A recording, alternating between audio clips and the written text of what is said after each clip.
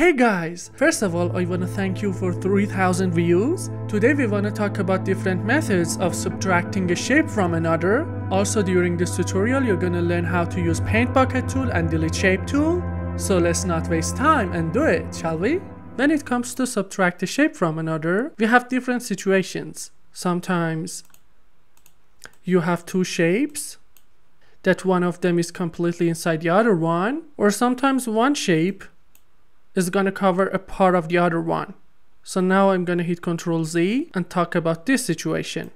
First, I have to delete these fields that I have here. So I'm going to select the delete shape tool and drag all over the workspace to delete all of these fields. Then I simply click on here to select the create shape tool. And as you can see, if I click on create shape, it only creates a shape in the middle. So I'm going to hit Ctrl Z and instead of selecting these four points, I'm going to hit Ctrl A to select all of the points.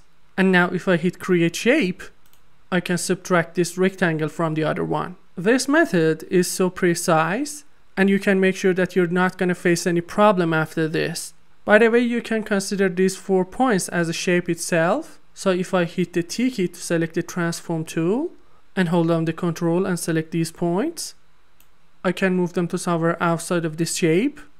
But still, if I click in the middle of this shape, the other one is going to be selected too.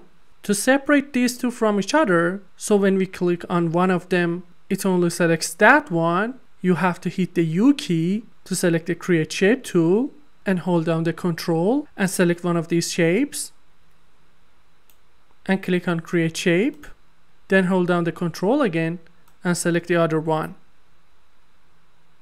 and then if I click on create shape Moho is going to consider them as some separated shapes so now if I hit the T key and select one of them, it only selects this one. Let's hit Ctrl A and delete all of them and talk about method 2. In method 2, let's imagine that we have a shape. To subtract something from it, you can select this tool and drag or another way is to select this tool, hold down the control and drag.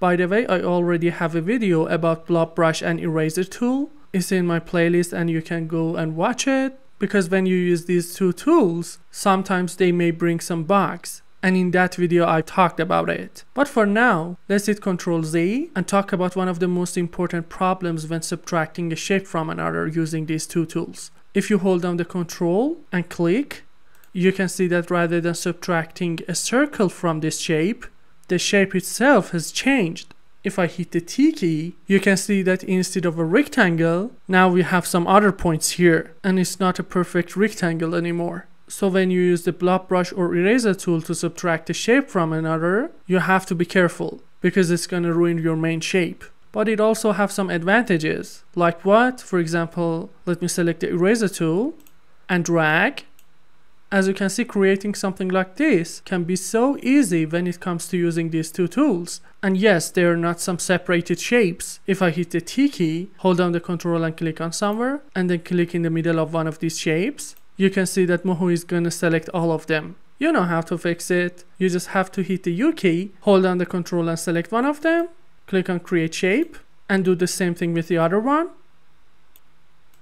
And then there are gonna be some separated shapes. Let me hit Ctrl A, select this tool, and hit the delete key. Then I hit the S key and draw a circle this time. Now I'm going to talk about that situation that one shape covers a part of the other one. The reason that I'm using circle here is that when it comes to circle, you're going to face some problems here. So first, let's say that we want this circle to be subtracted from the other one. In order to do this, we have to delete these edges. But the thing is, if we select the delete edge tool and try to delete these edges, because there is no point here, the tool is going to delete the whole edge between these two points. So I'm going to hit Ctrl Z. And in order to add some points where two edges intersect each other, I can simply select the select point tool, hit Ctrl A to select all of the points, and then I click on weld crossing you can see that now we have two points here and here. Now I can hit the D key and drag to delete these edges. And then I move my mouse here. But for the last one, there is a problem. See? When you delete the last edge, this curve here changes. To avoid this problem, you can hit Ctrl Z delete all of them except that one. Then you hit the T key to select the transform tool. Hold down the control and select this point by dragging. And then you hit the delete key. Now that we have the edges, we can remove all of these strokes by going to delete shape tool and drag all over our shape. Then I use create shape tool, hit Ctrl A to select all of the points, and then I click on create shape. Again, this method is much, much more precise than when you use eraser tool or blob brush. So now I'm gonna hit the T key and then I hit Ctrl A to select all of these points and hit the delete key to delete this shape. Then I hit the S key, select a rectangle. Then I uncheck auto stroke and autofill to draw a path only and it's time to drag to draw a path. Let's draw another path. And now I'm going to talk about one of the most common problems in Moho and that is using the paint bucket. This is one of the most dangerous tool in Moho and most people think that they can use it easily but using this may cause a lot of problems. I'm to select it. Now because here both is checked, if I click on here, we'll have both stroke and fill. But if you want, you can check only stroke or fill to have one of them only. The problem with this tool is that if you click inside the closed path, it's not gonna fill it. It's gonna add a completely new shape and also path. So now if I hit the T key and move this shape, you can see that we have a completely new shape here with a new path. And it's not a rectangle at all. If I scroll up to zoom in, you can see that we have a lot of points here not just four. I'm gonna hit the home key to reset my view. The next thing that I'm gonna talk about is that when using Paint Bucket, it's completely okay to select this part and have completely a new shape. But because we have some edges that are overlapped, you have to be careful and separate these two.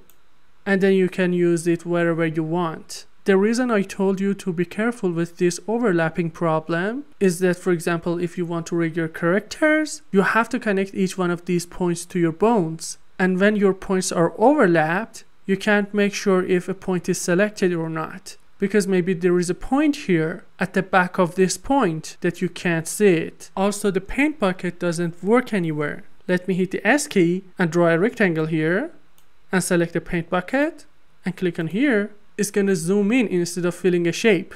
And yes, it's a bug. I'm to hit the home key to reset my view.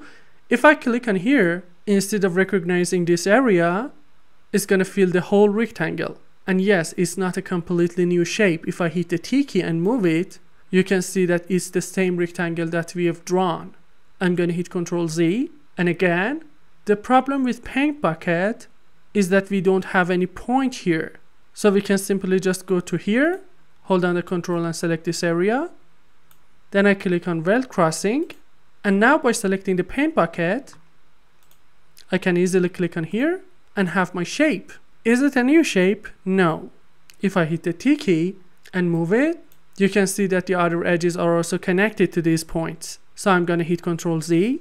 And in these cases, you can hit the D key to select the delete edge tool, you may want to delete these ones before you start working with your paint bucket. So I'm gonna delete all of these edges and then use paint bucket to do something like this. That's it guys, I hope you enjoyed this video and see you in the next one.